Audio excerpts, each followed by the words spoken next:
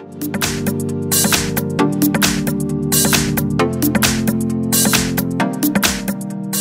I've got OnePlus 6T and let me show you how to invert colors on the following device. So the first very quick method is opening the upper bar, just slide it twice to open it fully and click on invert colors.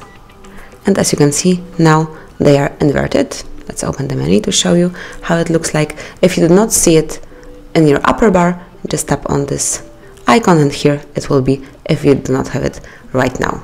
But we've got also the second method, so we have to open the setting at first. Now scroll down and pick system. Then go to accessibility, which is the first option. Scroll down to the very bottom of the list and here you will notice color inversion. So you can also deactivate and activate it here.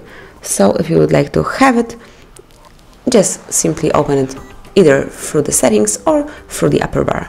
And now you've got the color inversion. So that's it. Let me switch it off. Thank you for watching. Please subscribe our channel and leave the thumbs up.